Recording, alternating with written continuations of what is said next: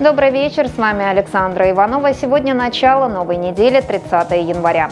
В нашем ежедневнике яркие моменты из прямых эфиров, резонансные интересные материалы псковских СМИ и прогноз погоды в Пскове на завтра. Пскове снова заговорили о расширении города за счет территории соседнего района. О каких улицах идет речь? Что получит город от расширения территории и как выиграют горожане? Какие неудобства испытывают сейчас деревенские жители Пскова? Ответы на многие вопросы искала обозреватель Псковской ленты новостей Юлия Магера. Эту же тему обсуждали и в эфире программы «Гордозор» на ПЛН-ФМ.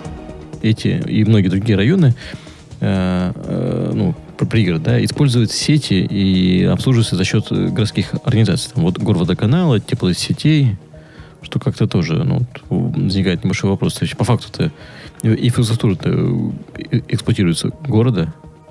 И, ну, и, да, это все так. Да, а принадлежат эти организации кому? подведомственны городу, и опять же, это бюджет города, то есть немножко будет лучше, что все-таки это перейдет, э, ну, в части а, а, а, административнее, это лучше, что перейдет в части к городу. Для одних слово «дача» ассоциируется с отдыхом, шашлыками, ровным подстриженным газоном и яблоневым садом. У других – грядки, парник, кабачки и плантации картошки. Председатель Союза садоводств Псковской области Виктория Мита в эфире программы «Деловой понедельник» рассказала о роли садоводов в обеспечении продовольственной безопасности региона. Сколько псковичей вовлечено в этот процесс и как сказалась пандемия коронавируса на росте интереса к дачам. Ну и вообще говорят, что на землю люди приходят э, осознанно уже годам к 40 угу. примерно. Они уже начинают выращивать.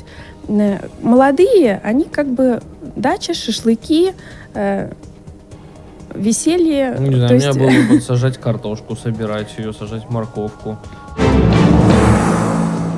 Великолучанин Мухаммад Шехов пришел в профессиональный бокс с серьезным багажом любительского опыта.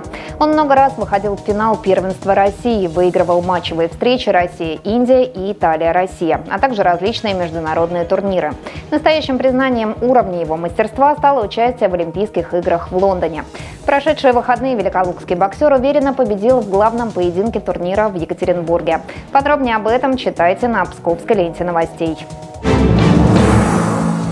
Экономический обозреватель ПЛН Алексей Овчинников рассуждает, зачем в нашей стране хотят ввести самозапрет на получение кредитов.